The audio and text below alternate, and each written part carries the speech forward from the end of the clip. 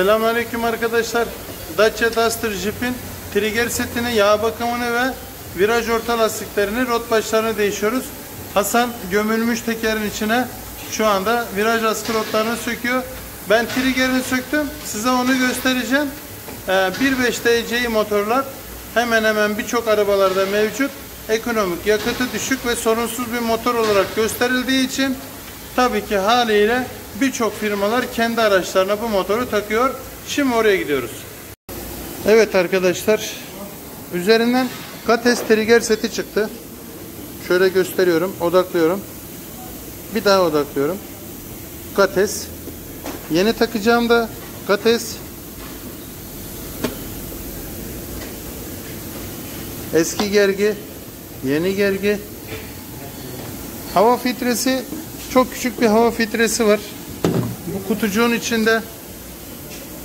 Hasan merhaba de. Merhaba, selamünaleyküm. Hasan e, alkol almış gibisin lan. Canlan oğlum canlan canlan. Canlan ortalığı parçala be.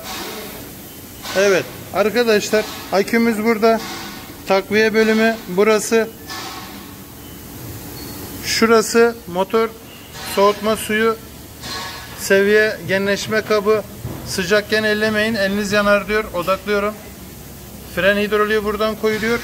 Motor yağı 1.5 TC motorların her zamanki gibi aynı yerde. Evet bakalım.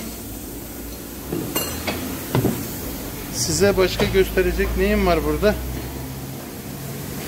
Evet arkadaşlar.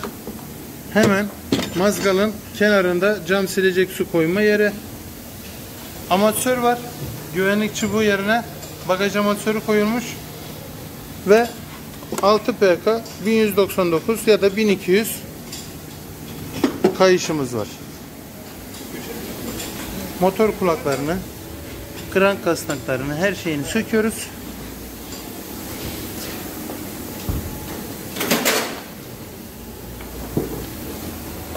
Dacia Duster'ın Evet, rot başın değişmiş Hasan. Viraj askı rotunu sökmüşsün hacı.